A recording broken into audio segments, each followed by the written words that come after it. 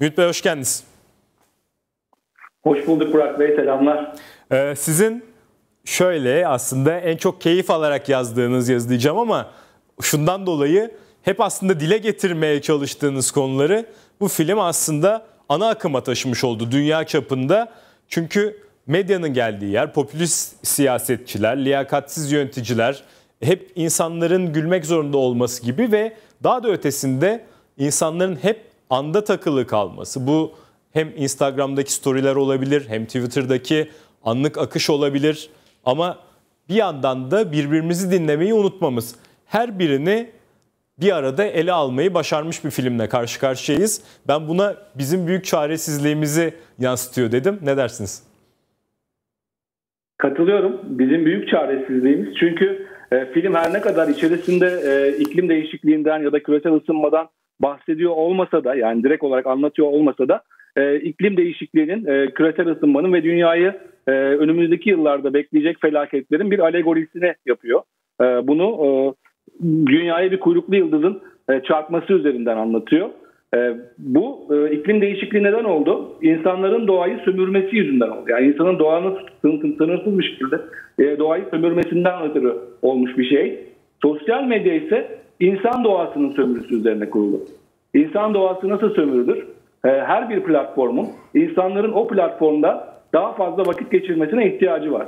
Twitter'daysak Twitter'da, Facebook'taysak Facebook'ta, Instagram'daysak Instagram'da. Bizim kaldığımız her saniye platformun içerisinde platformlar için e, milyarlarca dolarla ifade edilen e, bir değere ulaşıyor. Hem bir gözetleme değeri hem reklam gösterme değeri. İşte bu yüzden doğamızı sömürmeye odaklanıyor platformlar. Bunu nasıl yapıyorlar? Bizim dikkatimizi daha çok çekecek algoritmalar, e, önceliklendirme algoritmaları kullanıyorlar ve biz sosyal medyada hep daha fazla dikkatimizi çeken şeyleri görmeye başlıyoruz. Dolayısıyla ki, sizin, pardon şunu söyleyeyim, şunu evet, ekleyeyim.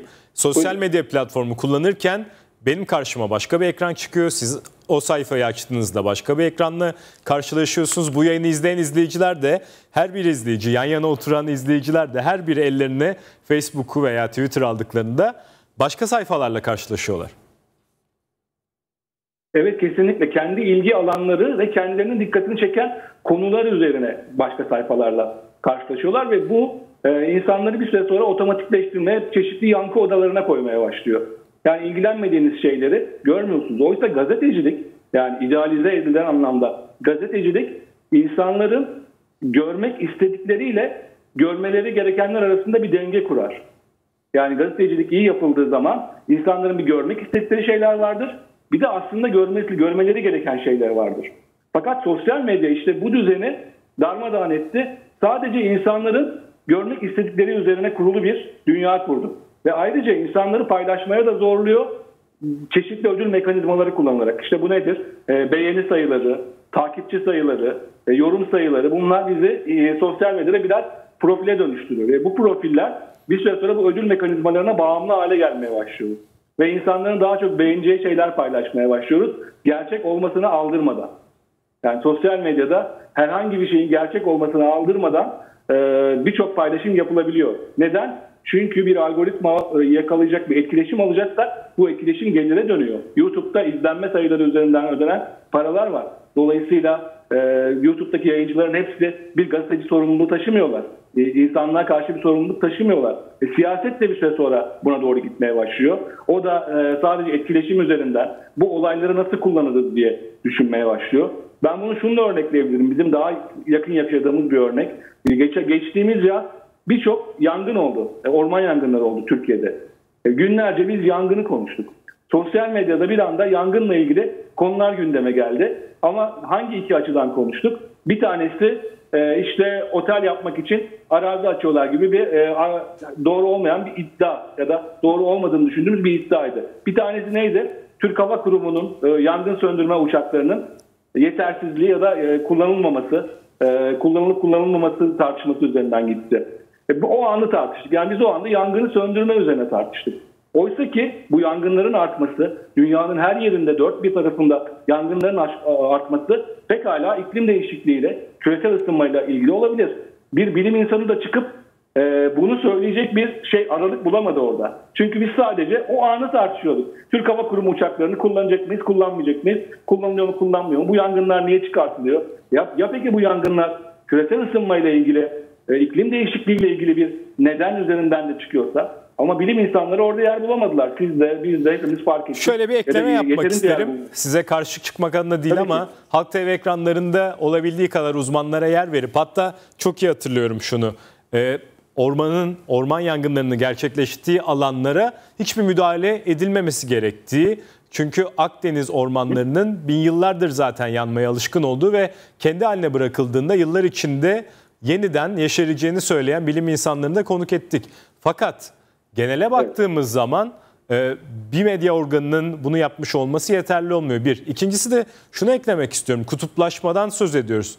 Birbirlerini dinlemeyen kişilerden. Dolayısıyla filmdeki örnek de çok barizdi. Bir meteorun, bir göktaşının dünyaya yaklaşması. Yani e, yukarı baktığınız zaman zaten göreceğiniz bir şey. Karşı bile yukarı bakma denilebiliyor. Dolayısıyla burada bir hakikatin bükülmesi veya farklı gerçeklere sahip farklı toplum kitlelerinin oluşturulması var. Evet kesinlikle. Zaten bu yaşadığımız çağ hakikat sonrası denmesinin en büyük nedeni yalanın yeni icat edilmesi değil. Yalan insanlık tarihinden beri var. Yalan doğada var.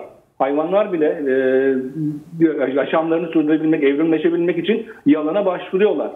Fakat e, şu anda hakikat sonrası diye bu çağımızı adlandırmamızın nedeni hakikatin önemsizleşmesi. Yani daha önceden hakikat bir e, önemliydi. İnsanlar yalanları ortaya çıktığında utanırlardı ve bu yalan bu utançla istifa ederlerdi ya da daha e, toplumsal itibarlarını kaybederlerdi. Şu anda dünyanın kaybettiği şeylerden biri bu. Çünkü sizin de söylediğiniz gibi bizi e, bazı yankı odalarına sokuyor platform algoritmaları. Şu an Amerika'da bunlar çok fazla tartışılıyor. Bu filmin de gündemde olmasıyla birlikte özellikle e, algoritmalar üzerine algoritma algoritmik olarak öne çıkarılan içerikle ilgili e, Amerika devleti, ABD e, devleti bir e, artık platformlara bir yaptırım getirmeye hazırlanıyor. Yani şunu istiyorlar. Eğer sen bir içeriği algoritmik olarak öne çıkarıyorsan, insanlara e, daha fazla önceliklendiriyorsan o zaman yasal sorumluluğunu da alacaksın. Yani şu anda sosyal medyanın büyümesinin ve bu kadar devleşmesinin arkasındaki en büyük şey platformların bizim yazdıklarımızdan ya da bizim paylaştıklarımızdan sorumlu olmaması. Yani siz şu anda Halk TV ekranında Burak Tatari olarak bir şey söylediğinizde siz Burak Tatari olarak da sorumlusunuz. Halk TV'de sizin söylediğinizden sorumlu. Ya da çıkardığınız bir konunun söylediği size Rütük'te ceza verebilir. Ama platformların böyle bir şeyi yok. Ben Twitter'da, Facebook'ta, Instagram'da istediğimi yazabilirim. Ee, ve o istediğim yazdığım şeyi algoritmik olarak bunu yükseltebilir platform. Ve ondan sonra da hiçbir sorumluluk kabul etmez. İşte e, dünyanın şu anda sosyal medya düzenlemesi adına konuştuğu bu. Yani ifade özgürlüğü eğer algoritmik olarak yükseltme varsa, önceliklendirme varsa bu ifade özgürlüğü e, artık hukuki bir sorumluluk da taşımalı platformlar bununla ilgili. E, Türkiye'de sosyal medya düzenleme genellikle sansür üzerinden konuşuyoruz. Arada bir gündeme geliyor sizin ekranınızda. Ama e, sansürden ötesi platformların artık e, belirli sorumluluk çizgileri içerisinde oturtulması da e, e, katlardan filmde buna çok başarılı şekilde dikkat çekiyor. Evet burada bence önemli bir nokta daha var. Aslında geleneksel medya filmde e, bilim insanlarına söz hakkı veriyormuş gibi yapıyor değil mi? Yani konuk ediyorlar aslında bilim insanlarını bu konuyu konuşmak üzere. Ama aslında o bilim insanları onların istediği sözleri söylemeyince onları dinlemeyi bırakıyorlar. Evet, zaten e, bu hakikat sonrası dediğimiz olay geleneksel medya, televizyon, özellikle televizyon yayıncılığıyla başlamış bir şey. E, özellikle bu çok izlenen kanallarda, ABD'de falan. E, ekranı ikiye bölmekle başlıyor her şey. Yani gazetecilerde şöyle bir sorumluluğu olduğu düşünülür. Her fikre eşit yer vermek. Ekranı ikiye üçe bölersiniz. Üç tane fikir çıkar orada birbirleriyle tartışırlar ve onun sonucunda bir e, sonuca ulaşılır. Fakat e, ABD'de özellikle yayıncılığın en çok yükseldiği yerde bu çok sömürüldü.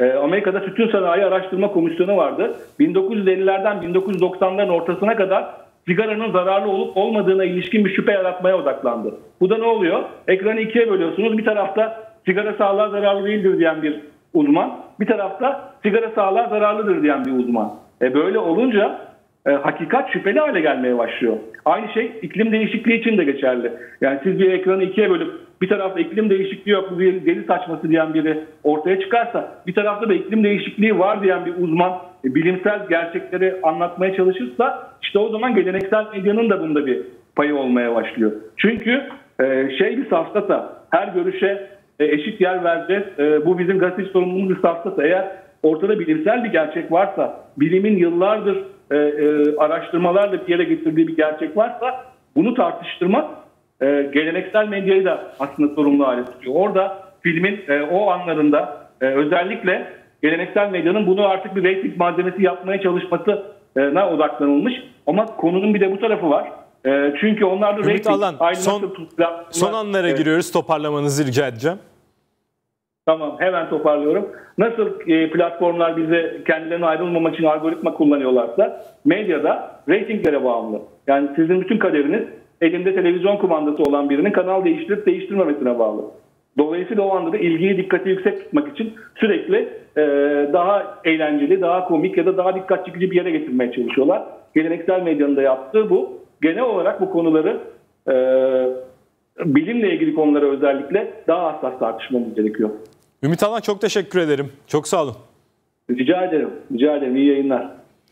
Evet Dünya Varmış'ta son olarak da Yukarı Bakma filmini iletişimci yazar Ümit Alan'la konuştuk. Dünya Varmış'ın bu haftalık